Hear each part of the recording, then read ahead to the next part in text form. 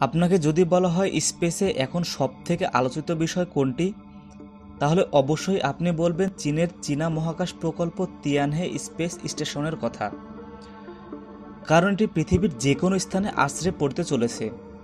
এখন প্রশ্ন হলো, কোথায় এসে পড়তে পারে এ আপদ?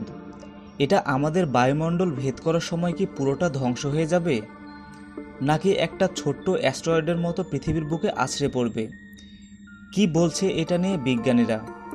এমন কিছু প্রশ্নের উত্তরের ওপর ভিত্তি করে আজকের এই এপিসোড সাজানো হয়েছে।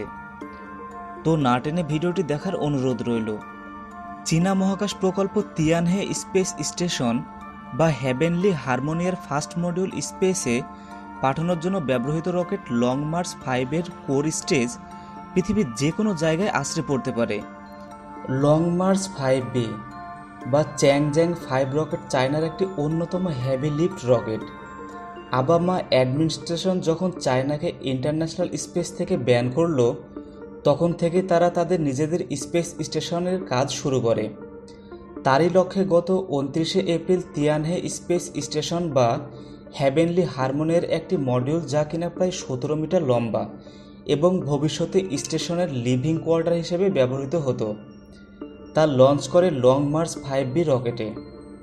রকেট লঞ্চের পর তিয়ানহে স্পেস স্টেশনের মডিউলটি তার নির্দিষ্ট অরবিটে পৌঁছায়। সোলার এরেও ডিপ্লয় করে। সমস্যাটা শুরু হয় যখন রকেটের কোর স্টেজ মডিউলটি ডিপ্লয় করে ফিরে আসবে তখন। এটা এক্সপেক্টেড ছিল যে ডিপ্লয় করে প্ল্যান্ট ম্যানিভারের মাধ্যমে পৃথিবীর অ্যাটমসফিয়ারে একটি কন্ট্রোলড রি এন্ট্রি করবে। কিন্তু আনফর্চুনেটলি তা হয়নি। কিছুক্ষণ পরে গ্রাউন্ড স্টেশন আবিষ্কার করে কোর স্টেজটি আমাদের মাথার একশো আশি থেকে তিনশো বাহাত্তর কিলোমিটার ওপরে অরবিটে ডিগবাজি খাচ্ছে ঘন্টায় পনেরো হাজার আটশো চল্লিশ মাইল বা পঁচিশ হাজার চারশো নব্বই কিলো গতিতে। এই কোর স্টেজের সাইজ প্রায় তিরিশ মিটার বা দশতলা বিল্ডিংয়ের সমান এবং ওয়েট প্রায় একুশ টন ফ্যালকন নাইন রকেটের সেকেন্ড স্টেজের সাত গুণ। চীন এর আগেরবারও যখন লং মার্চ ফাইভ রকেটের উৎক্ষেপণ করেছিল, তখনও কিছু বড় লম্বা ধাতব অংশ পড়ে আইভির কোস্টে বেশ কয়েকটি ভবন ক্ষতিগ্রস্ত হয়েছিল, যদিও বায়ুমণ্ডলের সঙ্গে সংঘর্ষে এর বেশিরভাগ অংশই জ্বলে গিয়েছিল, তবুও প্রচুর ধাতব টুকরো পৃথিবীতে এসে পড়েছিল, কিন্তু তখন কেউ হতাহত হয়নি। সম্প্রতি এই ঘটনার পুনরাবৃত্তি হতে চলেছে। যাই হোক, এখন কোথায় এসে পড়তে পারে এ আপদ? স্বাভাবিকভাবে কোর স্টেজের বেশিরভাগ রি এন্ট্রি করার সময় পড়ে যাবে। কিন্তু এর সাইজ এত বিশাল যে কিছু ডার্বিস রি এন্ট্রি সার্ভাইভ করে সমুদ্রে বা ভূমিতে ল্যান্ড করবে।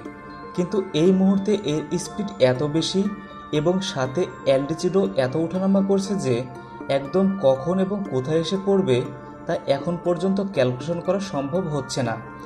তবে বর্তমান গতিপথ অনুযায়ী রকেটটি ছাই হয়ে যাওয়া অবশিষ্টাংশ সমুদ্র এবং সমুদ্র উপকূলবর্তী অঞ্চলে পড়ার সম্ভাবনা বেশি। সেই সঙ্গে New York, Madrid, Beijing, Chile, Wellington, New Zealand ধসে পড়ার সম্ভাবনা অনেক রয়েছে। এই সময়ের মধ্যে লং মার্চ ফাইভ বি এর কোর স্টেজ পৃথিবীর যে কোনো জায়গায় আশ্রে পড়তে পারে। এ নিয়ে আজকের পর্ব শেষ করছি। ভিডিওটি যদি ভালো লাগে তাহলে একটি লাইক করতে পারেন। আপনি যদি এমনই রহস্যময় এবং ইন্টারেস্টিং ভিডিও দেখতে পছন্দ করেন, তাহলে চ্যানেলটিকে সাবস্ক্রাইব করুন এবং পাশে থাকা বেল আইকনটিতে প্রেস করুন। ইনশাল্লাহ দেখা হচ্ছে আগামী এপিসোডে ততক্ষণ পর্যন্ত ভালো থাকবেন। ধন্যবাদ।